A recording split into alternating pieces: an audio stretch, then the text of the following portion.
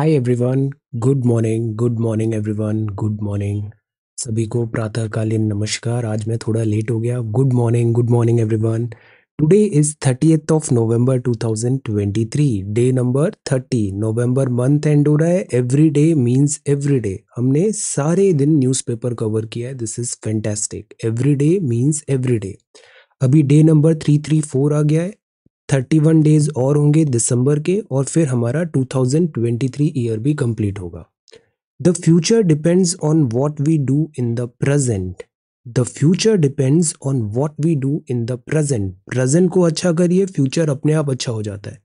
Today we are going to talk about all these important topics in next about 40 to 45 minutes of time see focus on your work not your tools आप preparation भी कर रहे हैं study भी कर रहे हैं focus on your work not your not on your tools ये ज़्यादा इंपॉर्टेंट है okay this is daily quiz question number one governor का न्यूज़ काफ़ी बना हुआ है अभी न्यूज़पेपर में भी हम देख रहे हैं। तो आज हम कुछ सवाल देखते हैं गवर्नर के बेसिस पे, गवर्नर पे based consider the following statements ये क्वेश्चन नंबर वन है। In India the same person can be appointed as governor for two और more states at the same time मतलब एक ही वक्त इंडिया में गवर्नर को दो से ज़्यादा, एक से ज़्यादा राज्य का गवर्नर बनाया जा सकता है। इज़ इट ट्रू और ये प्रोविज़न स्पेसिफाइड है कॉन्स्टिट्यूशन ऑफ़ इंडिया में। नाउ सी यहाँ एक ट्विस्ट है कि ये provision this provision is specifically specified in the constitution मतलब कॉन्स्टिट्यूशन में ये मेंशन है। नॉर्मली बनाया जा सकता है बट क्या ये कॉन्स्टिट्यूशन में मेंशन है? So the above provision is specified in the constitution so आपको बताना है इन दोनों में से करेक्ट ऑप्शन क्या है? See I am very happy जो फ़र्स्ट स्टेटमेंट है, ये एब्सोल्युटली ट्रू है. गवर्नर एक से ज़्यादा राज्य के बन सकते हैं सेम पर्सन सेम टाइम पे. और ये प्रोविज़न कॉन्स्टिट्यूशन में भी बकायदा मेंशन है. यस कॉन्स्टिट्यूशन में ये मेंशन है. So the right answer is C the right answer is C question number two which of the following suggested delegation of deletion of phrase एक कॉन्स्टिट्यूशन में एक फ्रेज लिखा हुआ है, उसको डिलीट करने की बोली यहाँ पे। During the pleasure of the president in context of term of office of governor तो किसने बोला कि इस फ्रेज को ही डिलीट कर दिया जाए? During the pleasure of the president in context of term of office of governor Sarkaria commission Venkatachaliah commission second ARC या पुंछी कमीशन किस कमीशन ने बोला था कि ये जो फ्रेज है during the pleasure of the pleasure of the president इसको ही डिलीट कर दिया जाए। So what is the right answer over here what is the right answer C ये सरकारिया कमीशन ने नहीं बोला था वेंकट चेलिया कमीशन ने भी नहीं बोला था। Second A R C second A R C दो हज़ार पाँच और पुंछी कमीशन 2010 तो क्या सेकेंड ए आर सी दो हज़ार पाँच ने बोला था during the pleasure of the president हटाने को? सेकेंड एआरसी ने भी नहीं बोला था। So the right answer is Punchhi commission 2010 so the right answer is D the right answer is D Punchhi commission 2010 ने बोला था कि during the pleasure of the president जो फ्रेज लिखा हुआ है इसको डिलीट कर दिया जाए।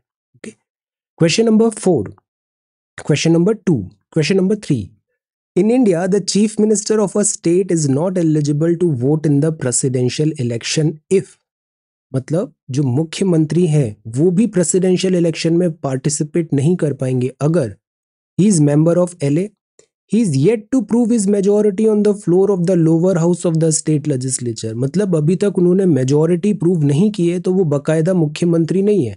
पर मतलब अभी उन्होंने अपना मेजोरिटी फ्लोर टेस्ट पास नहीं किया है। अगर फ्लोर टेस्ट पास नहीं किया है तो आप प्रेसिडेंशियल इलेक्शन में पार्टिसिपेट नहीं कर पाओगे no he is a member of the upper house of the state legislature या फिर ही इज़ अ अब केयर टेकर चीफ मिनिस्टर है केयर टेकर चीफ मिनिस्टर है। So how the person could vote in the presidential election because ये temporary है caretaker chief minister है no so D could be the right answer no D अगर वो care taker chief minister हैं तो वो presidential election पे vote नहीं कर पाएँगे।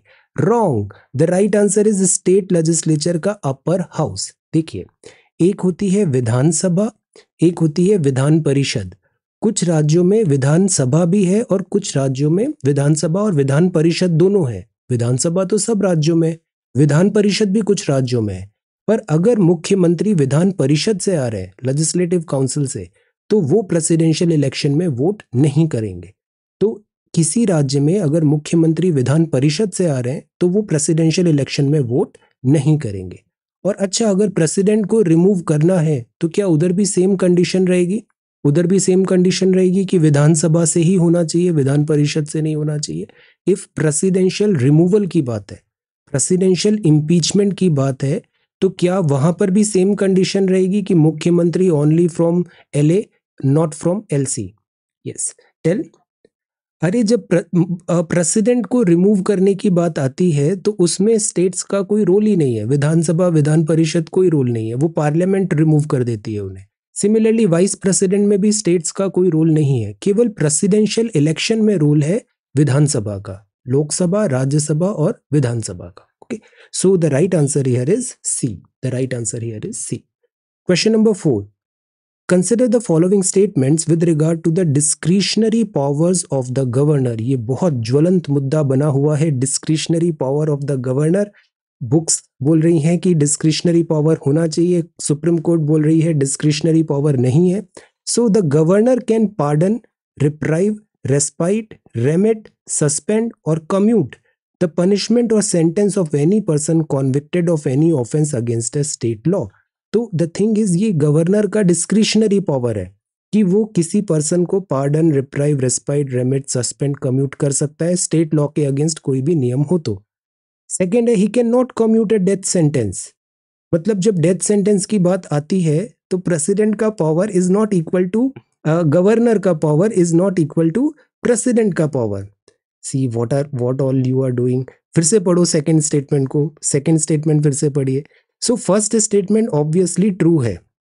Second first statement obviously true है। पॉलिटी रिवाइज करिए। Laxmikanth book number of times पाँच बार पढ़नी है सबको। एटलीस्ट फाइव टाइम्स सबको लक्ष्मीकांत बुक पढ़नी है। Okay he can not commute यहाँ पार्डन थोड़ी लिखा हुआ है। He can not pardon a death sentence but he can commute a death sentence यहाँ पे पार्डन नहीं लिखा हुआ है। पार्डन नहीं लिखा हुआ है। यहाँ पे कम्यूट लिखा हुआ है। So he can not commute a death sentence वो कम्यूट नहीं कर सकते हैं death sentence yes he can he can commute a death sentence ना he can commute a death sentence he can commute a death sentence तो हाँ ठीक है you are right this is wrong he can commute a death sentence he can not pardon a death sentence है ना so so, इसमें right right answer क्या हो जाएगा ओनली वन ही होगा ओनली वन होगा तो कॉन्फिडेंट रहा करो ठीक है कॉन्फिडेंट रहा करो इफ़ यू आर राइट तो be confident be confident okay yes be confident तो जो प्रसिद्ध, जो गवर्नर होते हैं, वो कम्यूट कर सकते हैं बट वो पार्डन नहीं कर सकते, है ना? वो पार्डन नहीं कर सकते, वो कम्यूट कर सकते हैं। So what is the right answer नहीं सी नहीं होगा यहाँ पे, इसमें ए होगा आंसर है ना? ये गलत है। He can commute a death sentence और ये सही है। फ़र्स्ट सही है और सेकंड सही है। Be confident okay question number five consider the following statements regarding the speaker of the legislative assembly speaker of the legislative assembly he is elected by the assembly itself from amongst its members वो अपनी assembly से ही elect होते हैं। जो speaker होते हैं, वो अपनी असेंबली से ही इलेक्ट होते हैं। मतलब लोकसभा स्पीकर है या विधानसभा स्पीकर है तो आप विधानसभा का पार्ट होना चाहिए। लोकसभा का पार्ट होना चाहिए। Speaker resigns by writing to the governor yes तो because governor appointment no so इनमें से करेक्ट ऑप्शन क्या है? What is the correct option देखिए, पहला स्टेटमेंट एब्सोल्युटली ट्रू है। He is elected by the assembly itself amongst its member pro tem बनते हैं, फिर वहीं पे चुनाव होके स्पीकर बन जाते हैं। स्पीकर को रिजाइन करना होता है तो वो डेप्यूटी स्पीकर को लिखते हैं और डेप्यूटी स्पीकर को रिजाइन करना होता है तो वो स्पीकर को लिखते हैं। So the right answer is A only the right answer is A only okay so these are five question for today tell आज का स्कोर क्या रहा? देखो, ऐसे ही बेसिक्स हमारे करेक्ट होने चाहिए, आपका सिलेक्शन हो जाएगा।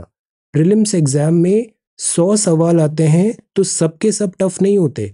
तीस सवाल बहुत टफ होते हैं thirty three thirty three question moderate level के होते हैं thirty three question easy level के होते हैं। हमारा जो प्राइमरी गोल होना चाहिए, वो होना चाहिए, हम इन थर्टी थ्री थर्टी थ्री पे टारगेट करें ईजी और मॉडरेट क्वेश्चन पे। बिकॉज़ डिफ़िकल्ट तो वैसे भी नहीं बनेंगे आपको। ईजी और मॉडरेट क्वेश्चन आप सही कर दोगे, आपका सिलेक्शन हो जाएगा okay yes very good very good very nice five out of five किसके है? नेहा के। Very good Neha. Yes very nice so see Telegram quiz है। Every day in morning we are having five such multiple choice question join और इनको सुबह हमें पाँच सवाल डेली लगाने हैं। आज हम जानते हैं rank and insignia of Indian police Indian police जो होती है, हमें रैंकिंग पता होना चाहिए। हायरार्की हमें पता होना चाहिए कि किस रैंक पे, किस पोस्ट पे कैसे हायरार्की चलती है। जैसे रजनी राजदान मैम ने मुझसे यही पूछा था हायरार्की और मैं आंसर नहीं दे पाया था। सो द थिंग इज़ हमें रैंक और हायरार्की पता होना चाहिए। अब जैसे पुलिस पुलिस की हम बात करें तो ये होते हैं कांस्टेबल कांस्टेबल से स्टार्ट होता है। Indian police system is not like UK police system जहाँ पे सबको एक ही जगह से एंट्री मिलती है। इंडिया में एंट्री के दो तरीके होते हैं। एक तो होता है ये लोअर जो कांस्टेबल uh, से होता है फिर एक स्टेट सर्विसेज़ से होता है फिर एक ऑल इंडिया सर्विसेज़ से होता है। ऐसे तीन हायरार्की से पुलिस में भर्ती होती है। तो एक भर्ती होती है constable, senior constable, head constable. तो यहाँ पर अगर आप इनकी यूनिफॉर्म में देखोगे तो कांस्टेबल में नहीं रहता है, यहाँ पे स्ट्राइप नहीं रहता है और स्लीव्स में सीनियर कांस्टेबल में ऐसे दो रहेगा और हेड कांस्टेबल में ऐसे तीन रहेगा। तो आप ये देख के बता सकते हो कि उस पर्सन का, उन पुलिस पर्सनल का क्या रैंक है। So constable, senior constable and head constable. जब आप असिस्टेंट सब इंस्पेक्टर बन जाते हैं तो एक स्टार लग जाता है। सब इंस्पेक्टर बनते हैं तो दो स्टार लगता है और इंस्पेक्टर बन जाते हैं तो तीन स्टार लगता है, तीन स्टार। तो ये तीन स्टार है मतलब आप इंस्पेक्टर है। अगर आप डीवाईएसपी बनते हैं तो भी तीन स्टार है और एडिशनल सुपरिंटेंडेंट एएसपी में ये सिंह का साइन आ जाता है और एसपी में सिंह और स्टार दोनों आ जाते हैं। तो ये रैंक आपका दिस स्टेट सर्विसेज़ से ऐसे आ रहा है। अगर आप जैसे यूपीएससी क्वालिफाई करते हैं तो पहले आप अंडर ट्रेनी होते हैं। अंडर ट्रेनी होते हैं तो आप आईपीएस बनते हैं। आईपीएस में भी एक ही स्टार है। तो देखो, यहाँ पर भी एक स्टार है, इधर भी एक स्टार है। बट यहाँ पे आईपीएस लिखा होता है। यहाँ पे आईपीएस नहीं लिखा होता है। तो ये एक स्टार और आईपीएस है। फिर जब आप असिस्टेंट सुपरिंटेंडेंट से ही आगे बढ़ते हैं तो दो स्टार और आईपीएस आता है। फिर डीएसपी बनते हैं तो यहाँ पर भी तीन स्टार है, इधर भी तीन स्टार है बट यहाँ पे आईपीएस नहीं लिखा हुआ है स्टेट में। यहाँ पे आईपीएस लिखा हुआ है। सो डीवाईएसपी जब आप बनते हो अंडर ट्रेनी से आप डीवाईएसपी बनते हैं तो वहाँ पे आईपीएस और तीन स्टार लिखेंगे। जब आपकी ट्रेनिंग खत्म हो जाती है तो आप एएसपी बनते हो। तो आईपीएस और सिंह फिर इसके बाद स्टार और सिंह होता है, ये होते हैं SP SP of a district हो आप सपोज़ या एसपी ऑफ़ सम एरिया हो तो दिस इज़ एसपी फिर आप बनते हो superintendent superintendent SP senior grade तो आईपीएस दो स्टार और सिंह। फिर तीन स्टार और सिंह आता है दिस इज़ डीआईजी तो डेप्यूटी इंस्पेक्टर जनरल डीआईजी फिर इंस्पेक्टर जनरल में दिस सॉर्ड एंड दिस आ जाता है और फिर फाइनली पोस्ट आती है डीजीपी एडिशनल डीजीपी की। सो so, ये रैंक्स हैं दीज आर द रैंक्स जो रैंक्स और इंसिग्निया है इंडियन पुलिस का। सिमिलरली हमें Indian air force Indian army Indian navy इन सब की भी रैंकिंग और इंसिग्निया हमें पता होना चाहिए। आज का आंसर राइटिंग का सवाल है। Prepare a note on the NDMA guidelines on cold cold season आ रहा है विंटर सीज़न आ रहा है। एनडीएमए की गाइडलाइंस बहुत बहुत इंपॉर्टेंट है। सो so, ठंड पर एनडीएमए दिशा निर्देशों पर एक नोट तैयार करें। सेकेंड है हमें वर्ल्ड मैप बनाना है और जितने भी हॉट एंड कोल्ड डेजर्ट्स है क्योंकि डेजर्ट्स का मतलब टेम्परेचर नहीं होता। डेजर्ट्स का मतलब होता है कि वहाँ पे बारिश कम है एरिडिटी है। तो टेम्परेट डेजर्ट्स भी हो सकते हैं और से सब ट्रॉपिकल के हॉट डेजर्ट्स भी हो सकते हैं। तो prepare a very beautiful world map और उसमें सारे इंपॉर्टेंट जो डेजर्ट्स हैं, मरुस्थल हैं, उन सारे आपको एक डायग्राम एक मैप बनाना है ओके इसके लिए आप एनडीएमए की गाइडलाइन भी दे सकते हो। ये एनडीएमए की वेबसाइट है। बहुत ब्यूटीफुल वेबसाइट है। इसमें बहुत अच्छे से डिफरेंट डिफरेंट वीडियोस के through precautionary measure safety senior citizens को कैसे प्रोटेक्ट करना है, बच्चों को कैसे प्रोटेक्ट करना है हिली रीजन्स में कैसे वर्क होता है लेबरर्स कैसे खुद को कोल्ड वेव से बचा सकते हैं। बहुत अच्छा इन्फोग्राफिक्स एंड शॉर्ट वीडियोज़ हैं, इसको आप देखो। साथ ही साथ ये कुछ पी भी है, जैसे एडिक्वेट विंटर क्लोदिंग होना चाहिए इंडोर रहना है, हमें ग्लव्स पहनने हैं नो वार्मथ के लिए रेडियो टीवी देखते रहना है हॉट ड्रिंक्स लेना है, चाय कहवा देन इसके अलावा बच्चों और सीनियर सिटीजन का स्पेशली ध्यान रखना है। पाइप फट जाते हैं। विंटर्स में अक्सर क्या होता है?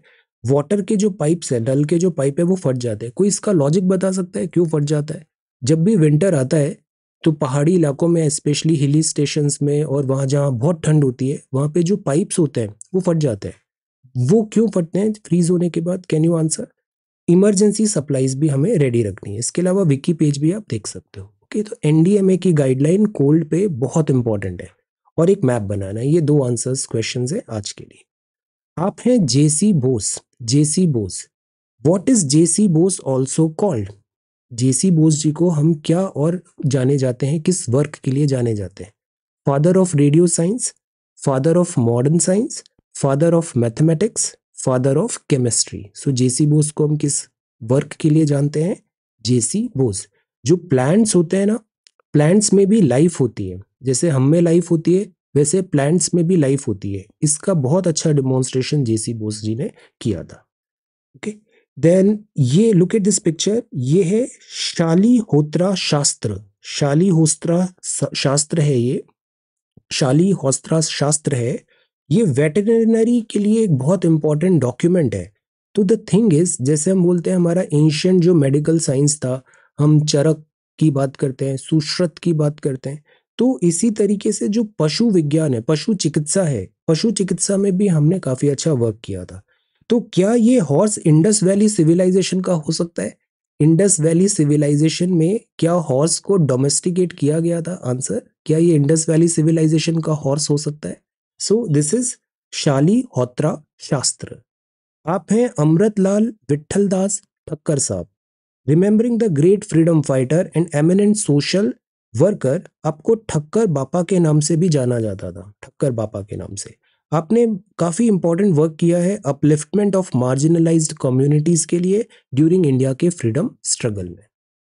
आप हैं Baba Ram Singh Kuka ji remembering the great freedom fighter and religious leader on his death anniversary आपने कुका मूवमेंट स्टार्ट किया था। First major reaction of the people in Punjab during the British rule after 1849 तो ये कुका movement है। पंजाब में हुआ था। ब्रिटिश एट्रोसिटीज के अगेंस्ट भी आपने वॉइस रेज की थी। यस आदिवासी वर्ड आदि का मतलब होता है वो पहले से वहाँ पर है प्रथम है आदिवासी मतलब रहने वाले। सो so, ट्राइबल्स तो अमृतलाल विठल दास ठक्कर जी और आप है Baba Ram Singh Kuka, Ram Singh Kuka ji. Look at this beautiful picture ये मॉन्यूमेंट्स है महाबलीपुरम। यूपीएससी का फेवरेट है। ये कहाँ पर है? महाबलीपुरम में है। तो ये सेलिब्रेटेड पोर्ट सिटी है। यूपीएससी अगेन बहुत सवाल पूछती है पोर्ट सिटी से। तो ये पोर्ट सिटी है पल्लवा इरा की। कब की? पल्लवा इरा। ये मॉन्यूमेंट्स काव्ड हुए हैं कोरोमंडल कोस्ट में। ये सातवीं, आठवीं शताब्दी में बने थे। Mahabalipuram has chariot shaped temple rath temple है। रथ के बेसिस पे यहाँ पे टेंपल बने हुए ये केवा केव सेंचुरीज भी हैं जाइंट रिलीफ भी है, यहाँ पे टेंपल भी है और शिवा का यहाँ पर स्कल्पचर भी है। इनक्रेडिबल मास्टरपीस है ये मॉन्यूमेंट्स ऑफ़ महाबलीपुरम। ये है Konark Konark is also very very beautiful sun temple है कोनार्क का और ये सन मतलब मॉर्निंग सन बहुत अच्छे से यहाँ की जो आर्किटेक्चर है, बहुत ब्यूटीफुल है। मॉर्निंग सन का बहुत अच्छा यहाँ पे एक व्यू आता है। ये बना है shores of the Bay of Bengal में।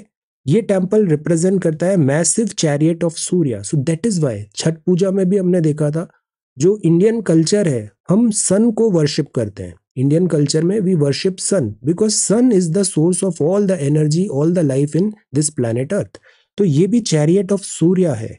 सन गॉड है ट्वेंटी फोर व्हील्स है यहाँ पे, जो सिंबॉलिक डिज़ाइन करते हैं। लेड बाय सेवन हॉर्सेस तो ये अभी प्रधानमंत्री जी जब जी ट्वेंटी के लीडर्स को लाइक जी ट्वेंटी में जब उनको लाइक मीटिंग हो रहा था तो उसके पीछे भी ये ट्वेंटी फोर व्हील्स वाला कोनार्क टेंपल का रथ वहाँ पर था। So this is very very important this is Konark temple now quickly हम देखते हैं संध्या संवाद ट्वेंटी नाइन्थ का।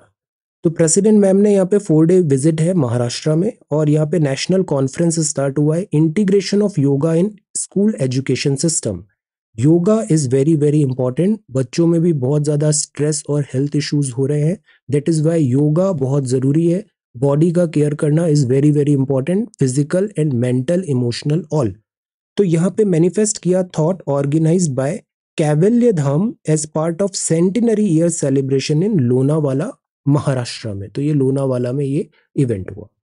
यूनियन मिनिस्टर जितेंद्र सिंह साहब ने इनोग्रेट किया national plan computational biology and bioinformatics facility ये है silver jubilee celebration new Delhi में। प्लांट्स के जीनोम पे रिसर्च प्लांट्स के जीनोम जेनेटिक्स पे रिसर्च ये बायो इकोनॉमी है। ट्वेल्व टाइम्स इंक्रीज हुई है in the last ten year तो अभी एक नया बजवर्ड बन रहा है और ये बजवर्ड क्या है? Bio economy bio ethics bio economy no ये यूनियन कैबिनेट ने यहाँ पे फास्ट ट्रैक स्पेशल कोर्ट का कंटिन्यूएशन करने की बात की है और सिक्सटीन फाइनेंस कमीशन का जो पीरियड है, वो एक अप्रैल 2026 से चालू होगा। तो कल ही हमने देखा था finance commission article 280 eighty sixteen finance commission defence minister साहब ने यहाँ पे armed forces flag day CSR conclave में अभी बात की कलेक्टिव रेस्पॉन्सिबिलिटी की बात की welfare of soldiers and their families का। ये पीस अग्रीमेंट है। मणिपुर में साइन हुआ है peace agreement United Nations Liberation Front और मणिपुर न्यू दिल्ली जो यहाँ पे मणिपुर में डिफिकल्टीज आ रही थी मिलिशिया भी था, इनके ऊपर पीस बनाए रखने के लिए ये अग्रीमेंट साइन हुआ है। तो न्यू इरा ऑफ़ पीस है। Peace is very very important in Manipur. Okay so ये हो गया हमारा सोशल मीडिया अपडेट बीन ये कुछ हरियाणा के स्टेट सिंबल्स है। जैसे हरियाणा का ये जो है, ये स्टेट एनिमल है, इसको हम बोलते हैं ब्लैक बक ये ब्लैक बक और भी कई राज्यों का स्टेट एनिमल है। दिस इज़ स्टेट एनिमल जैसे पंजाब का स्टेट एनिमल क्या है answer this is black buck ये हरियाणा का स्टेट एनिमल है।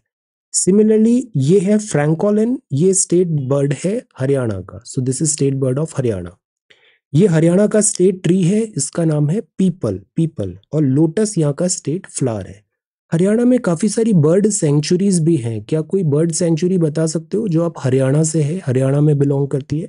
सो दिस इज़ हरियाणा का state bird okay so this is social media update ये प्रिलिम्स वन कोर्स है। इसमें एक इंटीग्रेटेड वे में हम सारी चीज़ें कवर कर रहे हैं। इसका ये फाइनल बैच है। हम टारगेट कर रहे हैं twenty six of May two thousand twenty three twenty four का एग्ज़ाम ओके देन इसमें इकोनॉमिक्स की क्लास स्टार्ट हो रही है और ये है हिस्ट्री की क्लास इकोनॉमिक्स की क्लास मॉर्निंग में होगी हिस्ट्री की क्लास इवनिंग में होगी. This is the Hindu Thursday November thirty two thousand twenty three see यहाँ पे रेस्क्यूड वर्कर्स एम्स में है, उनका चेकअप चल रहा है. श्रीलंका ने इंडिया को रीच किया, जो डेट ट्रैप में श्रीलंका फंस गया था. डेट प्लान रीस्ट्रक्चरिंग में इंडिया की हेल्प एंड अग्रीमेंट यहाँ पर हुआ है.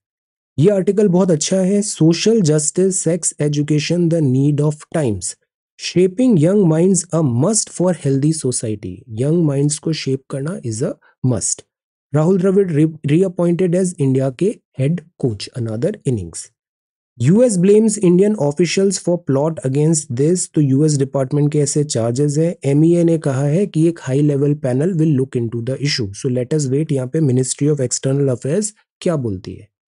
अगेन मुद्दा फिर से आ गया है। What was Kerala governor doing for two years on bills ऐसा सुप्रीम कोर्ट ने बोला। तो सुप्रीम कोर्ट ने बोला कि ये जो फ्रिक्शन आ जाता है आर्टिकल 200 बिल पास करने में, इसमें जो चैलेंजेस हैं, उसको एड्रेस किया जाए। पॉलिटिकल नॉन पॉलिटिकल डायमेंशंस भी हम यहाँ पर देखें, ये यहाँ पे कहा गया है। राजभवन और मुख्यमंत्री जो है council of minister of state है, दोनों में फ्रिक्शन नहीं होना चाहिए। India backs UN resolution against Israel for not leaving Syrian Golan height अब देखो, ये अलग है। दिस इज़ गोलन हाइट तो that is why Syria Israel इनका मैप जानना बहुत ज़रूरी होता है।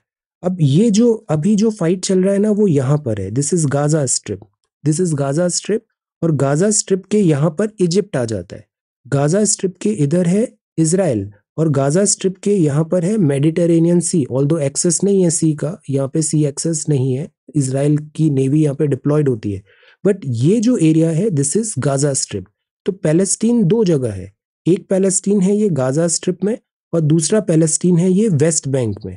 तो West Bank is actually towards the east of Israel ये इसराइल का ईस्ट है तो वेस्ट बैंक ईस्ट की तरफ़ है। वेस्ट बैंक जो है, इसके राइट में है जॉर्डन यहाँ पर जॉर्डन है। So this is West Bank this is Jordan और ये है डेड सी डेड सी की सेलिनिटी बहुत ज़्यादा होती है तो इसको डेड सी बोलते हैं। लिविंग ऑर्गेनिजम्स कम ही रहते हैं यहाँ पे। और सेलिनिटी ज़्यादा है तो यहाँ डूबते भी नहीं है। तो ये डेड सी है। फिर ये है river Jordan river Jordan lake TB Tiberias है। देन इसके बाद अगर हम इस एरिया में आते हैं तो आता है सीरिया दिस इज़ सीरिया और ये है Golan Heights this is Golan Heights okay और फिर ऊपर नॉर्थ में जाते हैं तो ये लेबनान आ जाता है। तो इसराइल के नॉर्थ में लेबनान है। और यहाँ बॉर्डर शेयर कर रहा है सीरिया के साथ देन दिस इज़ जॉर्डन और नीचे यहाँ पर आती है Gulf of Aqaba this is Gulf of Aqaba और फिर रेड सी चालू हो जाएगा और ये आ जाएगा Sinai peninsula and this is Egypt this is Egypt यहाँ पे नेजेव डेजर्ट भी है. This is Negev desert so we should know the geography of Israel very very well अभी जो बात है कि यहाँ जो गोलन हाइट्स हैं गोलन हाइट्स में अभी इसराइल का ऑक्यूपेशन है तो एक यूनाइटेड नेशन रेजोल्यूशन आया। तो इंडिया ने बैक किया है। इंडिया ने बैक किया है UN resolution against Israel for not leaving Syrian Golan Heights yes तो यूएनजीए है United Nation General Assembly express किया deep concern over Israel not withdrawing from Syrian Golan Heights 1967 में 1967 में ये जो गोलन हाइट्स का एरिया था, ये इसराइली फोर्सेस ने ऑक्यूपाई कर लिया था। तो अभी इस रिजोल्यूशन ने उसको कंडम किया और इंडिया ने उसको बैक किया है। Situation in the Middle East on Tuesday पे ये डिस्कशन था। रिजोल्यूशन इंट्रोड्यूस हुआ था इजिप्ट में। 91 ने फेवर किया, आठ ने अगेंस्ट और 62 टू एब्सटेंटी थे। तो इंडिया ने इसको लाइक फेवर किया है कि सीरियन जो गोलन हाइट्स है, इसको विड्रॉ होना चाहिए। This is India's stand official India's stand then यहाँ पे है apex court allows six months extension for Delhi chief secretary तो दिल्ली चीफ सेक्रेटरी का छः महीने का टेन्योर बढ़ाया जा रहा है और ये National Capital Territory of Delhi और यूनियन गवर्नमेंट की जो पावर है उसके विद इन ही। है तो कोर्ट ने कहा है कि ये अभी आगे कंटिन्यू हो सकता है। Then major oil and gas firms have pledge to go carbon neutral by 2050 COP 28 के चीफ ने बताया। तो कॉप 28 हो रहा है दुबई में और दुबई में जो यहाँ के जो प्रेसिडेंट डेजिग्नेट हैं सुल्तान अल जाबर इन्होंने बताया कि 2050 तक हम नेट ज़ीरो होने की कोशिश करेंगे। जो कॉमन बट डिफ्रेंशिएटेड रेस्पॉन्सिबिलिटी है तो जो डेवलप्ड कंट्रीज़ हैं, वो जल्दी करेंगे। इंडिया 2070 तक कार्बन न्यूट्रल होगा 2070 तक। तो यहाँ पे कंपनीज़ ने प्लेज किया है कि they will try to become carbon neutral okay so this is the front page of the Hindu then this is next one L G gives go ahead for cricket stadium hotel in Narela तो ये जो नरेला है यहाँ पर एक airport भी आ रहा है एयरपोर्ट आ रहा है और इंटरनेशनल क्रिकेट स्टेडियम भी बनेगा and five star hotels etcetera medical facility ये सब बनेगा यहाँ पे। तो अभी इसका अप्रूवल मिल गया है। Then this is government notifies motor vehicle policy aimed at transition to EV so India में इलेक्ट्रिक व्हीकल्स फ्यूचर माना जा रहा है ईवी e की तरफ़ पुश हो रहा है। ऑल हाइब्रिड व्हीकल भी बड़े लाइक uh, प्रॉमिसिंग है because hybrid vehicle are like कि गैसोलीन भी है उसमें, फॉसल फ्यूल भी है और साथ ही साथ ईवी भी है मतलब बैटरी ऑपरेटेड भी है। तो हाइब्रिड फ्यूल के ऊपर भी हम फोकस कर रहे हैं, but EV again government full throttle EV को एनकरेज कर रहा है, चाहे वो बसेस हो या व्हीकल्स हो दिस इज़ इलेक्ट्रिक व्हीकल्स तो इस पे फ्रेंडली ऑप्शंस लाने की बात है, जैसे आपको पता है आरटीओ चार्जेस होते हैं। कोई भी आप गाड़ी खरीदते हो तो वो गाड़ी का जो प्राइस बताया जाता है ना, वो एक्स शोरूम प्राइस होता है एक्स शोरूम प्राइस जब आप उस व्हीकल को खरीदते हो तो उसमें जैसे डीजल की कार है तो उसमें काफ़ी ज़्यादा टैक्स लगता है आरटीओ टैक्स लगता है एट्सेट्रा तो वो ईवी में नहीं लगता है। काफ़ी सारे राज्यों में ईवी पे एग्जामेशन दिया हुआ है कि आप पे आरटीओ टैक्सेस नहीं लगेंगे एट्सेट्रा वाई इंसेंटिवाइज दे रहे हैं। कुछ राज्यों में हम सब्सिडी भी देते हैं। हम सब्सिडी भी देते हैं। यस तो अक्सर ऐसे ही होता है कि और आपको प्राइस जो एक्स शोरूम प्राइस होती है, वो अलग होती है और ऑन रोड प्राइस काफ़ी बढ़ जाती है। उसमें दो तीन लाख रुपए एक्स्ट्रा हो जाते हैं वहाँ पे। क्योंकि उसमें आरटीओ टैक्स देना पड़ता है और इंश्योरेंस वगैरह काफ़ी सारे चार्जेस लगते हैं। तो ईवीज में आरटीओ टैक्स काफ़ी स्टेट्स में ऑफ़ है। जैसे गुजरात में नहीं है, महाराष्ट्र में ऑफ़ है, ऐसे काफ़ी जगह ईवीज पे टैक्सेस नहीं लगते हैं। Why because we are trying to encourage electric vehicles then this is तो क्या हाइब्रिड में भी नहीं लगते? हाइब्रिड में लगते हैं। चंडीगढ़ में हाइब्रिड में नहीं लगते बट अदर स्टेट्स में हाइब्रिड पे आरटीओ चार्जेस आज की डेट में लग रहे हैं। फाइनली सम रिस्पाइट तो यहाँ पे रेन आया नेशनल कैपिटल रीजन में और रेन आया मतलब पॉल्यूशन थोड़ा कम हो गया है। Then setup mechanism against unauthorised construction Delhi में अनऑथराइज कंस्ट्रक्शन को दूर करने के लिए ये मैकेनिज्म बनाए गए देखो, अभी कोई भी टेक्नोलॉजी नई होती है तो उसको मैच्योर होने में थोड़ा टाइम लगता है। ईवीज प्रॉमिसिंग है बट ईवीज में चैलेंजेस भी हैं। सबसे बड़ा चैलेंज तो रेंज एनजाइटी होता है range anxiety because petrol vehicle diesel vehicle you can quickly fill the tank कहीं भी पेट्रोल पंप में। बट ईवी में चार्जिंग इंफ्रास्ट्रक्चर अभी भी लिमिटेड है। But then again new technology है। Over the period of time improve होगा। Reliability भी पहले से बेटर है। ऐसा नहीं है कि कुछ केसेस आ जाते हैं बैटरीज लाइक फायर कैच कर ली है या etcetera but again they are very very reliable they are very very reliable as such कोई डिफिकल्टीज नहीं है। The main issue is this charging infrastructure नहीं है। और दूसरा और मेन इशू है कि ये जो बैटरीज हैं लिथियम कोबाल्ट इन सब की जो बैटरीज हैं, ये battery making procedure it is very polluting और after seven eight years obviously battery तो जिस दिन बनती है तभी से खराब होना चालू हो जाती है। After seven eight nine ten years जब बैटरी कंप्लीटली खराब हो जाएगा देन उसका डिस्पोजल आप कैसे करोगे? This is the thing but इसका एक सिल्वर लाइनिंग ये भी है कि बैटरीज डे बाय डे सस्ती होती जा रही है। आज से दो तीन साल पहले जितनी महँगी बैटरीज होती थी, अब उतनी महँगी बैटरीज नहीं I was listening to one interview जो टाटा मोटर्स के चीफ हैं इलेक्ट्रिक ई व्हीकल डिपार्टमेंट के। ही वॉज़ सेइंग कि बैटरीज का कॉस्ट कम होता जा रहा है और जो टेक्नोलॉजी है वो एडवांस होती जा रही है। तो हम ज़्यादा एफिशिएंट और ज़्यादा लॉन्ग रेंज व्हीकल्स बहुत जल्दी अभी जो सेकेंड जनरेशन ईवीज होंगी, ये ज़्यादा बेटर परफॉर्म करेंगी। So there is no doubt fossil fuels का जो डेज़ है, वो नंबर है। हम some other renewable energy solar या हाइड्रोजन हम शिफ्ट करेंगे किसी अदर फॉसिल किसी other fuel pattern Puducherry reports over thirty stray dog bites in two days तो सेफ्टी शॉट है. एंटी रेबीज वैक्सीनेशन लगाना ज़रूरी है. डॉग्स हमारे बहुत अच्छे फ्रेंड है बट ये जो डॉग बाइट होता है इससे होता है रेबीज और रेबीज का कोई इलाज नहीं है. So that is why government यहाँ पर काफ़ी ज़्यादा this uh, initiatives लेती है. Then this is next one.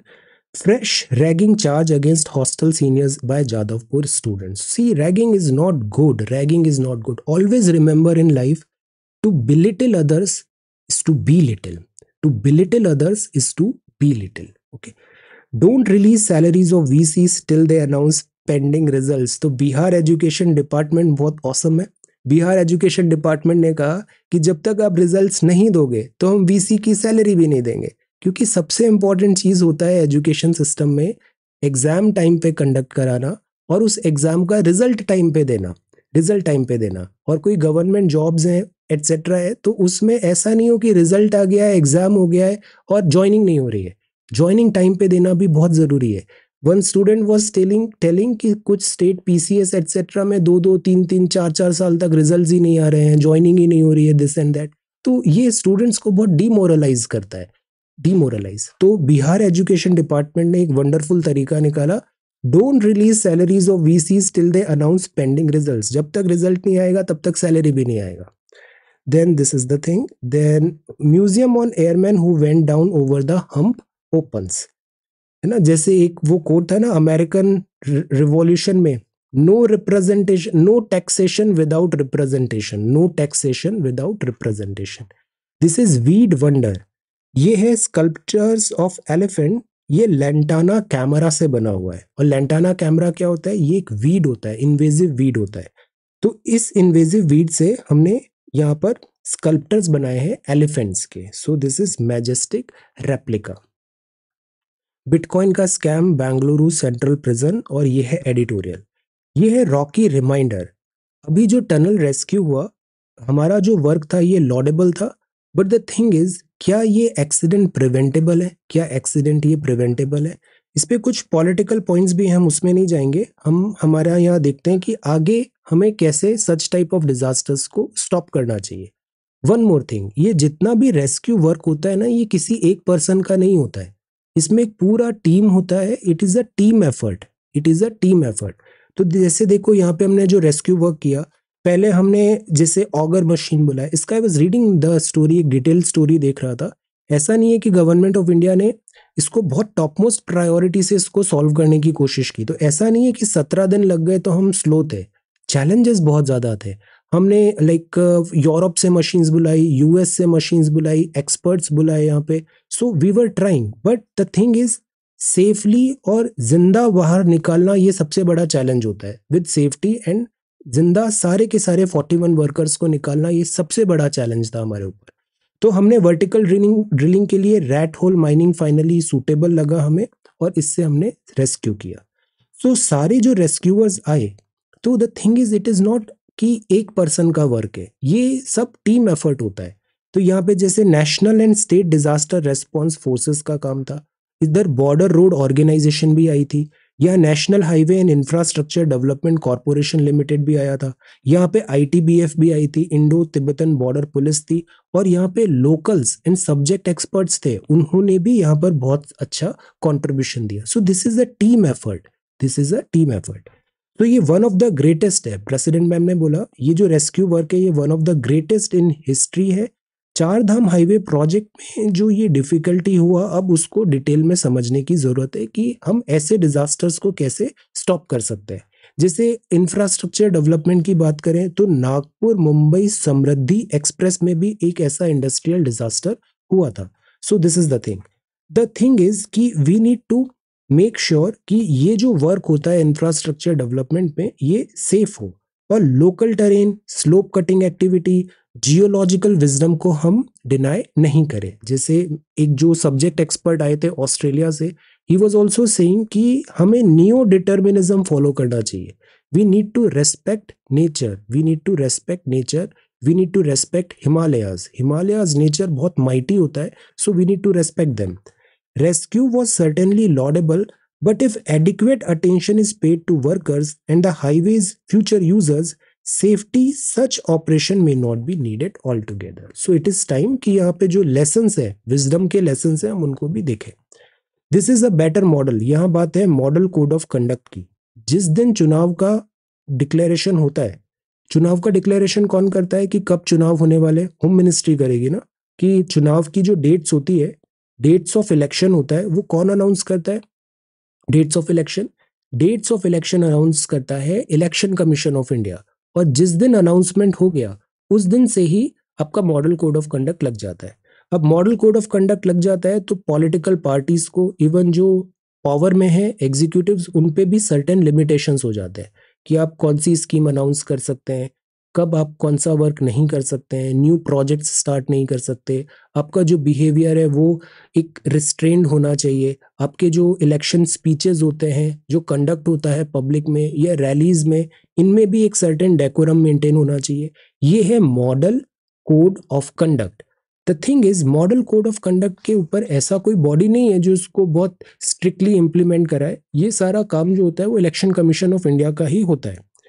तो इस कॉन्टेक्स्ट में ये ज़रूरी होगा कि Election Commission of India model code of conduct को लेटर एंड स्पिरिट में फ्री फेयर मैनर से कराए। This is social justice sexual education the need of our times बड़ा अच्छा आर्टिकल लिखा हुआ है और इसमें ये लिखा है कि स्पेशली जो चिल्ड्रन है और आज की डेट में जो बच्चों का एक्सपोजर है, ये काफ़ी ज़्यादा डेमोक्रेटाइज तो हुआ है and it is next level because internet का पावर है उनके पास इंटरनेट का पावर है। और जिस तरीके से इंटरनेट मोबाइल पेनिट्रेशन हुआ है so the thing is children बहुत कम एज में they get exposure of all the things जो वर्ल्ड लेवल पे है। सो so, इसमें ज़रूरी होता है कि उनको हम प्रॉपर एजुकेशन दें कि क्या सही होता है क्या गलत होता है। So social justice and sexual education the need of our times see caste and gender are the deepest social cleavage in our society caste and gender Intersection of these two social identities play havoc with the lives of adolescents, young adults in Indian school and colleges. So, frequent reports media में आती है जहाँ पे conflicts है violence है जो adolescent young adults ने किया है as well as consensual sexual relationship है between adolescents young adults of different castes inviting criminal penalties and action. So the thing is training young minds in critical thinking and social justice is essential to address the issue and to create a healthy society. So, this topic is very important for Sociology GS1. In the name of celebrating tradition, an emphasis on racial purity, protection of cultural values only leads to majority powerful being dominant and aggressive towards the weak.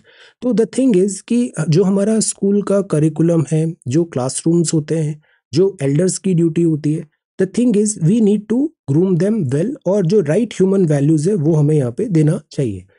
जब बच्चा adolescence as में आता है तो he realises that vulnerability is not only because of one's physical frailties vulnerability के बहुत सारे types हो सकते हैं। ये सोशल और इकोनॉमिक वलनरेबिलिटी भी पॉसिबल होती है। सो so, ये जो डिफ़िकल्ट जब फ़ेज़ होता है एडोलसेंस का जो एज होता है इधर अगर करेक्ट डायरेक्शन मिलता है एनर्जी प्रॉपर हम चैनलाइज करते हैं उनकी so we can have like a better society तो लर्निंग आपका स्कूल एटमॉस्फेयर घर का एटमॉस्फेयर लॉजिकल रीजनिंग होना चाहिए plus at the same time religion cultural wealth class physical impairment gender and sexuality ऐसे कोई बायसेस हैं रीजनेबल डिसअग्रीमेंट्स है इन चीज़ों को देख। यस yes, बच्चे बहुत कंपेयर करते हैं। You have no idea even classrooms में भी मैं ये देखता हूँ बच्चों में बहुत जल्दी एक कॉम्प्लेक्स आ जाता है कि अच्छा इसके पास इतनी सारी चीज़ें हैं मेरे पास नहीं है तो मैं क्या कम हूँ? स्कूल्स में दैट इज़ वाई स्कूल्स में हम क्या इनकरेज करते हैं कि चाहे आप कितने भी अमीर घर से हो या कितने भी हैव्स या नॉट हैव्स हो आप सबको सेम चीज़ें ही मिलेंगी। आपको सेम चीज़ें मिलेगी। यूनिफॉर्म आपकी सेम रहेगी। चाहे आप किसी भी फैमिली आपका बैकग्राउंड है आपको सबको सेम यूनिफॉर्म पहनना है। तो इससे क्या आता है? बराबरी आती है। ऐसा कॉम्प्लेक्स नहीं आता बच्चों में। आपको सेम बुक्स पढ़ना है। सभी को एक ही किताब पढ़ाई जाती है। सभी को एक ही यूनिफॉर्म पढ़ाई जा, दी जाती है। कई बार स्कूल्स में गैजेट्स वगैरह भी बैन कर दिए जाते हैं ताकि सब एक सेम लेवल पे हो। बच्चों के मन में ये ऐसा कॉम्प्लेक्स नहीं आने देना चाहिए। तो this is what we try to do schools में। और हम इन्हीं वैल्यू सिस्टम को आगे बढ़ाए। हम बहुत ज़्यादा ये मटेरियलिज्म या एक्सपेंसिव थिंग्स एट्सेट्रा स्पेशली बच्चों को ये सब चीज़ें थोड़ा अवॉइड करना चाहिए। अदरवाइज़ उनमें बहुत जल्दी ये कंपैरिजन इंफीरियोरिटी या फिर एरोगेंस या फिर नेगेटिव वैल्यूज़ ये ज़्यादा तेज़ी से डेवलप हो जाती है। This is a very like sensitive age so the thing is कि टीचर एबसेंटिज्म है blaming children for a lack of learning ऐसी बच्चों को ब्लेम नहीं करना चाहिए। अक्सर ये होता है कि पेरेंट्स और बच्चे सारा बच्चों पे ब्लेम डाल देते हैं। टीचर्स बच्चों को हमेशा इन्फीरियर फील कराने की कोशिश करते हैं। हमारा सिस्टम ऐसे ही डेवलप हो गया है कि बच्चों को इनसिक्योर फील कराओ, बच्चों को इन्फीरियर फील कराओ और फिर खुद को मसीहा बताओ कि now I will solve all of your problems classes attend करोगे तभी आपका सिलेक्शन होगा। खुद से तो आप पढ़ ही नहीं सकते, आपको कुछ नहीं आएगा। जब तक मैं नहीं पढ़ाऊँगा, कुछ समझ में नहीं आएगा। ये गलत टेंडेंसी है। The thing is we need to encourage them they are very much capable to do and read everything on their own so the thing is कि blaming children for a lack of learning potential हमेशा उनको criticise कर रहे हो discourage कर रहे हो तो वो कैसे कॉन्फिडेंट हो पाएगा? Discouraging children and physically abusing ऐसे ही मारना नहीं चाहिए। Physically abusing is also not good physically abusing them are all outcomes of this lack of faith in social justice education so the thing is society में हमें ये एक value system लाना ज़रूरी है। यस हमें एम्पावर करना चाहिए। हमें बच्चों को स्टूडेंट्स को ऐसा करना चाहिए कि उनको लगे कि, wow we can also do this और हम ये खुद अपने दम पे कर सकते हैं। ये कॉन्फिडेंस दिलवाना बहुत ज़रूरी होता है। सो द थिंग इज़ इसमें एजुकेशन बहुत ज़रूरी है। एजुकेशन में भी हमारे यहाँ सेक्सुअल एजुकेशन को एट टाइम्स टैबू मान लिया जाता है, जो कि गलत है। This is a very normal part of life so we need to impart proper information correct information so this type of education ज़रूरी है ताकि रिप्रोडक्टिव हेल्थ एटसेट्रा भी उनका करेक्ट रहे। Then this is the thing at the same time we need to teach everybody to be respectful बच्चों में ये बहुत ज़रूरी है कि आप उन्हें रेस्पेक्टफुल रहना रेस्पेक्टफुल बिहेवियर सिखाएँ। You should be respectful towards everybody so this is the thing need of government support ज़रूरी है और इसमें adolescent reproductive and sexual health strategy है गवर्नमेंट ऑफ़ इंडिया की। नेशनल एडोलसेंट हेल्थ प्रोग्राम है, राष्ट्रीय किशोर स्वास्थ्य कार्यक्रम है, ये रिसेंट एक्टिविटी अभी यूनियन इन सब के नाम लिखिएगा, जब भी आपको एथिक्स या सोशोलॉजी में आंसर लिखना है राइट दिस नेम अर्श है adolescent reproductive and sexual health strategy 2005 और अभी नेशनल एडोलसेंट हेल्थ प्रोग्राम है, राष्ट्रीय किशोर स्वास्थ्य कार्यक्रम। तो हम इनको कैपिटलाइज करें ताकि वो मेंटली इमोशनली डैमेज्ड एडल्ट में कन्वर्ट नहीं हो। करिकुलम ज़रूरी है, उनका इम्प्लीमेंटेशन भी ज़रूरी है। कई बार जो डिविजन्स होते हैं like divisions on the basis of caste और बेसिस ऑफ़ सेक्स और basis of place of origin other things तो इन रिलीजन को भी स्कूल्स एट्सेट्रा में हाईलाइट नहीं करना चाहिए। हमें ज़्यादा से ज़्यादा इंटीग्रेशन की बात करनी चाहिए इंटीग्रेशन बिकॉज़ ये जो यंग माइंड होता है यंग माइंड एक ग्रूमिंग एज होती है, इसको करेक्ट वैल्यू सिस्टम से हम आगे बढ़ाएँ। Women political empowerment more talk less action यहाँ पे अगेन बात है, जैसे भी नारी बंधन अधिनियम आया है, तैतीस प्रतिशत रिजर्वेशन की बात है। इससे पहले पंचायत और म्यूनसिपैलिटी में भी रिजर्वेशन रहा है thirty three percent third year में। अब सेकेंड ईयर और फ़र्स्ट ईयर में भी रहेगा। लोकसभा, विधानसभा में भी अब तैतीस प्रतिशत रिजर्वेशन होगा।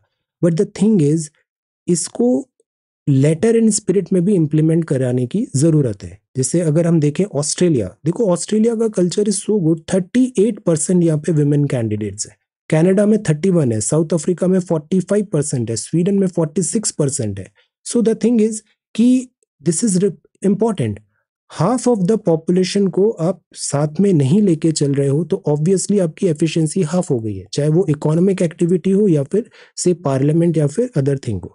तो द थिंग इज़ कि women reservation bill is important but overall जो हमारा बिहेवियर है, इसमें भी ट्रूअर सेंस में इक्वालिटी होना चाहिए। ये बड़ा अच्छा आर्टिकल है how universities and industry can collaborate एक और प्रॉब्लम क्या होती है, हमें पढ़ाया कुछ और जाता है और लाइफ में वर्क में कुछ और काम आता है। यूनिवर्सिटी में जो पढ़ाया जाता है, वो एट टाइम्स यूनिवर्सिटी की चार दीवारी में ही खत्म हो जाता है एग्ज़ाम पास करते ही उसका इतना यूटिलिटी नहीं होता है रियल वर्ल्ड में। और इंडस्ट्री की रिक्वायरमेंट अलग है। ऐसा होता है। इंजीनियरिंग में भी कई बार ऐसे सवाल उठे हैं कि जो चीज़ किताबें, जो कॉन्सेप्ट्स जो चीज़ें कोर्सेज एट्सेट्रा हम ग्रेजुएशन डे में करते हैं, वो हमें जब हम वर्क करने जाते हैं तो वो ज़ीरो यूटिलिटी है। तो क्या हमने ये चार साल सिंपली वेस्ट कर दिए एजुकेशन में?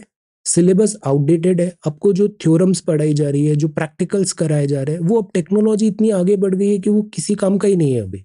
सो द थिंग इज़ कि क्या इससे यू यूनिवर्सिटी का जो टाइम है हमारा, ये यूनिवर्सिटी का टाइम क्या वेस्टेज हो गया जिससे I tell you after some time अगर हम ह्यूमन रिसोर्स मैनेजमेंट में करेक्ट नहीं है और हमारा कम्युनिकेशन स्किल्स अच्छी नहीं है कम्युनिकेशन स्किल्स मतलब आपको टीम में वर्क करना आ रहा है, आपको अपनी बात रखना आ रहा है, आपको एक्सचेंज ऑफ़ आइडियाज़ करना आ रहा है ये जो चीज़ें होती है ना, ये आपकी मार्कशीट से कहीं ज़्यादा इंपॉर्टेंट होती है।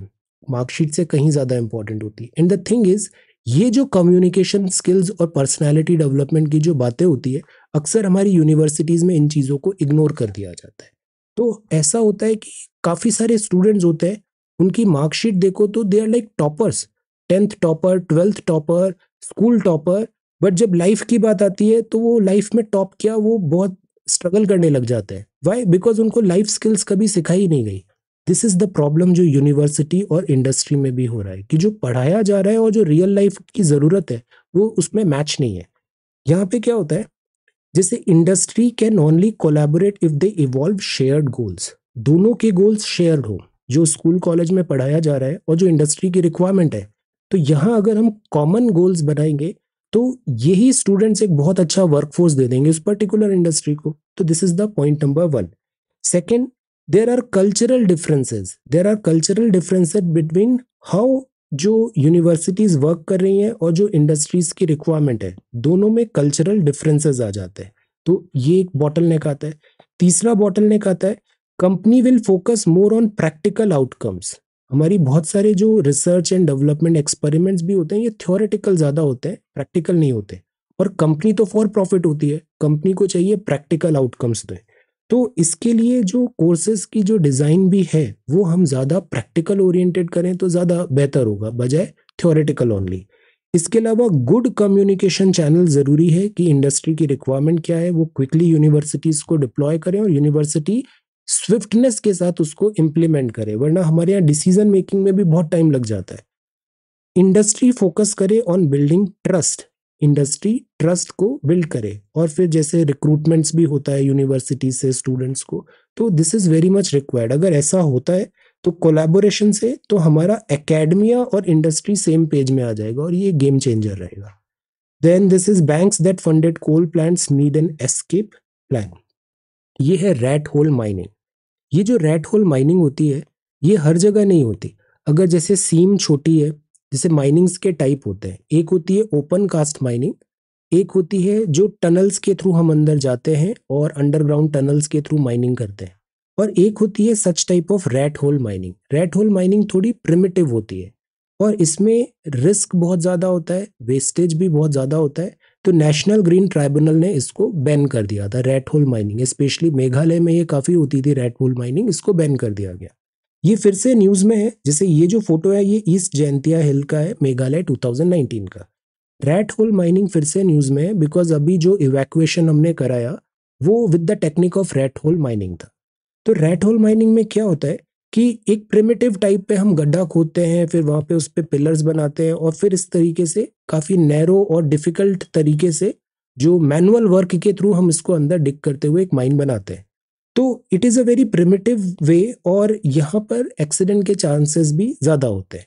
But the thing is this is very efficient और ये कोल माइंस नेशनलाइजेशन जब एक्ट आया था सिक्स शेड्यूल स्टेट्स में तो हमने रेट होल माइनिंग्स को डिस्करेज करना चालू किया और माइनिंग्स माइंस का नेशनलाइजेशन भी हो गया, जैसे कोल माइंस एटसेट्रा का। बट कुछ जगह पे ये अनरेगुलेटेड माइनिंग्स अभी भी हो रही है। इससे लैंड डिग्रेडेशन होता है डिफॉरेस्टेशन होता है higher concentration of sulphate iron toxic heavy metal होता है तो वर्कर्स का लाइफ भी एट रिस्क आता है। तो rat hole mining as a matter of fact अभी बैन है। इसमें हम तीन चार फीट डीप बेयरली ऐसे गड्ढे बना रहे हैं और फिर उसको डिग करते हुए अंदर जा रहे हैं। तो this is a very primitive way but ये एट टाइम्स इफ़ेक्टिव भी हो सकता है, जैसा अभी टनल रेस्क्यू में हमने देखा। बट एज सच अभी इसका मतलब ये नहीं है कि हम इसको ओके okay कर देंगे। एनजीटी के जो रीजंस है, वो स्ट्रॉन्ग रीजंस है। Rat hole mining is very very like detrimental to से एनवायरमेंट और इसमें रिस्क एसोसिएशन भी बहुत ज़्यादा है। तो मेघालय में इसको अभी बैन कर दिया गया था। दूसरी प्रॉब्लम रैट होल माइनिंग में जगह की कंस्ट्रेन होती है। तो अक्सर रैट होल माइनिंग में जो छोटे बच्चे हैं, उनको डिप्लॉय कर दिया जाता था। तो ये एक चाइल्ड लेबर का भी एक इशू बन गया था। जैसे आपको पता है न्यूयॉर्क वगैरह में जब ऐसी टॉल बिल्डिंग्स बनने लग गई there was a time industrial revolution का तो इनमें होती थी चिमनी। और ये चिमनी कौन साफ़ करता था? ये चिमनी साफ़ करते थे दस साल से छोटे बच्चे। Because they are smaller in size तो उनको ऐसे चिमनीज में भेजा जाता था चिमनी वगैरह साफ़ करने के लिए। तो the thing is this is a gross violation of human rights ये human trafficking and child labour को एनकरेज करता है। सो दैट इज़ वाई हमने इसको बंद कर दिया है। तो अभी रेट होल माइनिंग हेल्प किया है हमें टनल डिगिंग में बट दैट डजेंट मीन कि हम रेट होल माइनिंग के सपोर्टर है। रेट होल माइनिंग अभी बैन ही रहेगा। Then this is next one ये अंग्रेज़ी आ गया है। कॉन्ग्रेचुलेशन बोलते हैं। कॉन्ग्रेचुलेशन किसी को बोलते हैं। कुछ अच्छी इवेंट्स हुई हैं तो वो हम उसको कॉन्ग्रेचुलेशन बोलते हैं।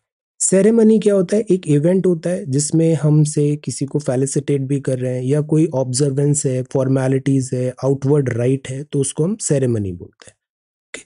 Then this is no your English abnegate what is the meaning of abnegate abnegate मतलब डिनाई करना रिस्ट्रेन करना। इंडल्जिंग इन सम प्लेजर या फिर सरेंडर करना रिनाउंस करना that is called abnegate then this is news conspiracy PMLA Al Jaber denies allegations of using climate talks to strike fossil fuel deals fossil fuel deals अब देखो UAE में ये COP 28 हो रहा है और यूएई जो है ये ऑब्वियसली फॉसिल फ्यूल्स पे ही डिपेंडेंट है पेट्रोल फ्यूल इन सब का एक्सपोर्ट करते हैं। तो अभी यहाँ पे बात है latest see deployment of Kavach is progressing Kavach क्या होता है? कवच ये होता है आर पे बेस्ड होता है।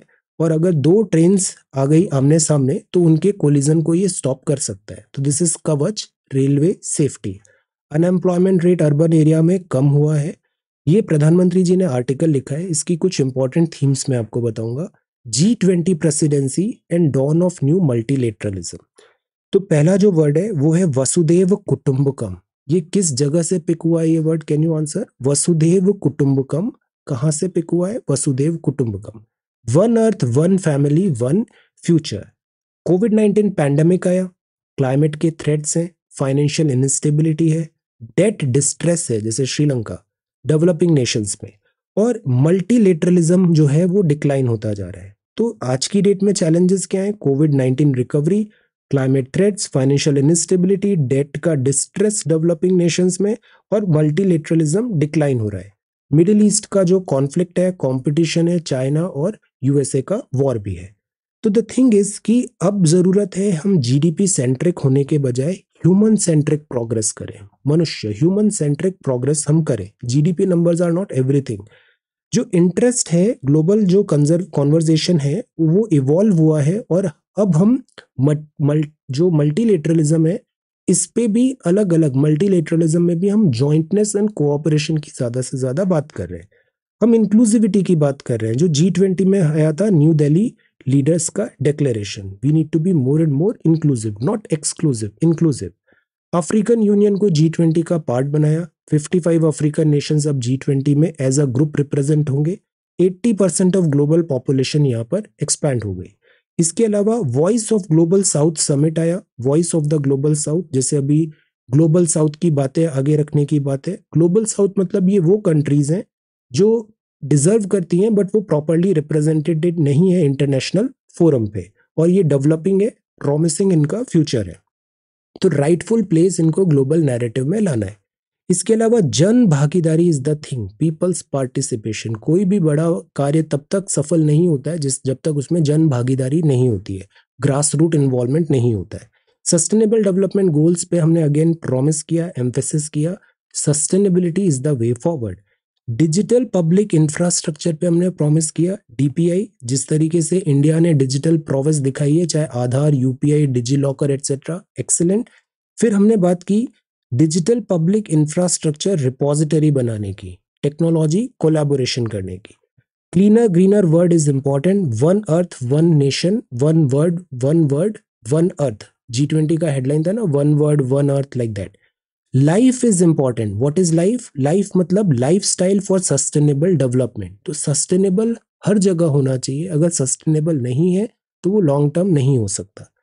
इसके अलावा हमने नेशनली डिटरमाइंड कॉन्ट्रीब्यूशन की बात की। 2023-30 तक हम एनडीसी में प्रॉमिस करके अपने ग्रीन हाउस गैसेस के जो फुटप्रिंट्स हैं, उसको कम करेंगे। यूनाइटेड नेशन रिफॉर्म्स की हमने बात की। यूएनएससी का reform is the need of the hour because ये प्रेजेंट वर्ल्ड को रिप्रेजेंट नहीं करता है। इंडिया में विमेन रिजर्वेशन बिल 2023 आया एम्पावरमेंट ऑफ़ विमेन इसके अलावा अभी हमने बात किया इंडिया की जो प्रेसिडेंसी है जी ट्वेंटी में, और फिर इसको हम हैंड ओवर किसको कर रहे हैं? ब्राज़ील को कर रहे हैं। This is not an era of war ये वॉर का टाइम नहीं है। टेररिज्म की कोई जगह नहीं है। भड़काऊ terrorism divisive tactics not okay terrorism and senseless killing of civilians is unacceptable तो ज़ीरो पॉलिसी है हमारी टॉलरेंस दिस ज़ीरो टॉलरेंस है for terrorism humanity comes first hostility और दूर रहनी चाहिए। This is not an era of war ये बुद्धा है, युद्धा नहीं है। At the same time multilateralism को बढ़ाएँ वॉइस ऑफ़ ग्लोबल साउथ को बढ़ाएँ और women empowerment of weaker section की बातों को आगे रखें। और ये तभी हो पाएगा जब हम कलेक्टिव स्टेप्स लाएँगे प्लानट के लिए पीस के लिए और प्रॉस्पेरिटी के लिए। और ये सेंचुरीज ईयर्स तक रेजोनेट करेगा। So this is a very good article इसको एक बार आप दोबारा पढ़ना। ऐसे का जो स्टाइल है, ये आप यहाँ से पिक करो। शॉर्टर सेंटेंसेज है रिपीटिशन नहीं है। पैराग्राफ्स देखो छोटे छोटे पैराग्राफ्स है। ये एक पैराग्राफ फिर ये दो पैराग्राफ फिर ये तीसरा paragraph learn the art of writing ऐसे ये एक पैराग्राफ एक पैराग्राफ और देखो, हर पैराग्राफ में एक आइडिया दिया है। इन्फॉर्मेशन ओवरडोज नहीं है यहाँ पे। तो इस पैराग्राफ को, इस आर्टिकल को दोबारा पढ़िएगा। आपको ऐसे के लिए बहुत अच्छा स्टाइल और फॉर्मेट यहाँ पर समझ में आएगा okay so read this article once again India G twenty T presidency and the dawn of a new multilateralism खुद प्रधानमंत्री जी का आर्टिकल है this is a really good article free food grain scheme to continue for five more years प्रधानमंत्री गरीब कल्याण अन्न योजना. Drones अभी हम दे रहे हैं फार्मर्स को और ड्रोन्स के through pesticide insecticide seeds etcetera monitoring सब हाईटेक होते जा रहे हैं. Taliban in contact with Afghan diplomats fast track court है. वर्कर्स अभी एम्स में उनका चेकअप हो रहा है. Behind the scene supply lines humming then rat hole के ये हमारे हीरोज हैं, जिन्होंने रेस्क्यू वर्क किया।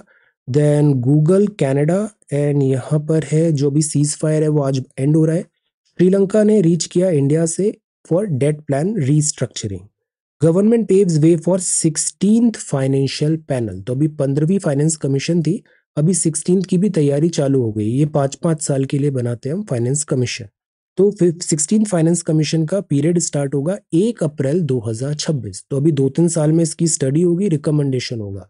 Devolution of fund vertically and horizontally then this is global south है। Global south is very promising access centralize website अब see unfortunately कई बार ऐसा होता है कि हमारा मोबाइल घूम जाता है। तो आपका जो भी मोबाइल घुमा है, आप इस ऑफिशियल वेबसाइट है। This is telematic C DOT ने एक वेबसाइट बनाया है सेंट्रलाइज्ड है। H T T P S Sanchar Saathi dot G O V dot in तो यहाँ पे आप अपने फ़ोन के डिटेल्स डाल सकते हैं। लॉस्ट मोबाइल आपको होपफुली ट्रैक और रिकवर हो जाएगा। April October steel import data है and then this is sports sports news है। And then this is could dead stars crash with the light of 500 million suns ये COP 28 है, इसमें भी कुछ थीम्स हमें याद रखनी है। कॉप 28 की एम्स है फॉसिल फ्यूल में। पहला what is global stock take कल हमने ये वर्ड देखा था ना ग्लोबल स्टॉक टेक अभी ये एक्सप्लेन कर दिया। सो ग्लोबल स्टॉक टेक एक पीरियोडिक रिव्यू है by countries to contain GHG emissions greenhouse gas emission को कंटेन करने के लिए ग्लोबल स्टॉक टेक होता है। इसमें हम ट्रांजिशन कर रहे हैं फॉसिल फ्यूल डिपेंडेंट एनर्जी से रिन्यूएबल एनर्जी की तरफ़। तो ये एक रिव्यू सिस्टम है GST global stock take is a review system then food system पे एम्फेसिस है कि पेरिस अग्रीमेंट में भी ये था कि जो फ़ूड है फ़ूड है नेशनल फ़ूड सिस्टम और एग्रीकल्चरल प्रैक्टिसेस है, ये सस्टेनेबल रहे। देन थर्ड है loss and damage fund loss and damage fund क्या है कि जो नुकसान हुआ है, उसको कॉम्पनसेट करें लॉस एंड डैमेज फंड से। फिर लार्जर प्रोविज़न है क्लाइमेट फाइनेंस का भी, इसके लिए 200 बिलियन डॉलर हमें चाहिए हर साल by 2030 climate finance fossil fuel पे डिस्कशन हुआ फॉसिल फ्यूल को phase down then phase out करने की ज़रूरत है। रिन्यूएबल एनर्जी कैपेसिटी को भी बढ़ाना है। तो कॉप ट्वेंटी की कुछ थीम्स हैं।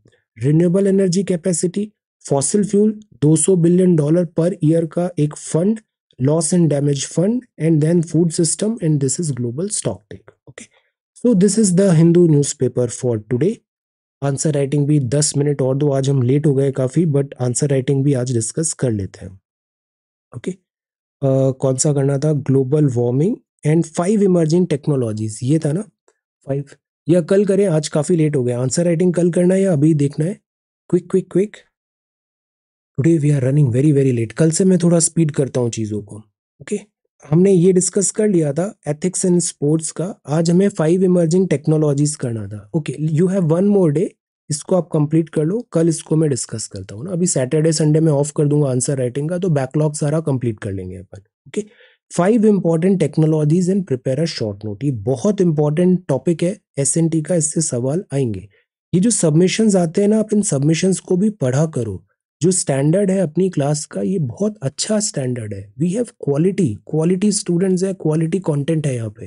तो आप भी be a part of this community आपको बहुत फ़ायदा होगा यहाँ पे। See this is so amazing जिस तरीके से यहाँ पे वर्क हो रहा है this is extraordinary so be a part of this अच्छा माहौल, अच्छे फ्रेंड्स अच्छा पढ़ाई का तरीका यही सीक्रेट है इस एग्ज़ाम का, यही सीक्रेट है एग्ज़ाम का। तो एक हेल्दी एटमॉस्फेयर सबको बनाए रखना है, एक दूसरे को एनकरेज करना है, लड़ाई झगड़े नहीं करने हैं, केवल पढ़ाई पे ध्यान रखना है, जिस पर्पज के लिए हम इतना मेहनत कर रहे हैं ओके हार्डवर्क को रेस्पेक्ट करना है, एक दूसरे को पॉजिटिवली चैलेंज करना है इंप्रूवमेंट होना चाहिए नो पुल डाउन नहीं करना है this is the thing all right so do this thing आप सबका बहुत अच्छा सिलेक्शन होगा। इस बार हमारा टारगेट है, हमें हंड्रेड प्लस सिलेक्शन चाहिए सृजन इंडिया वन से। Hundred plus selection okay so just put your give your hundred percent और पॉजिटिव माइंडसेट से पढ़ना है। नेगेटिव माइंडसेट से नहीं पढ़ना है। पॉजिटिव माइंडसेट से पढ़ना है ओके ऑप्टिमिस्टिक होते हुए पढ़ना है। ऑलराइट एंट्रोपी नहीं लानी है। खुद के लिए भी नहीं, दूसरे के लिए भी नहीं ओके okay? चलो सो स्टडी फुल थ्रॉट अभी हम थोड़ा सी सेट का एक्सरसाइज भी देखते हैं। स्टडी फुल थ्रॉटल आपको किसी भी टाइप का कोई भी क्वेरी है आप मुझे व्हाट्सएप कर सकते हो, ये चैट यहाँ पे एनेबल्ड है व्हाट्सएप चैट का okay message me on WhatsApp all right चलो so thank you so much for watching this video take care study well and be safe अभी सी सेट का एक एक्सरसाइज होगा टेक केयर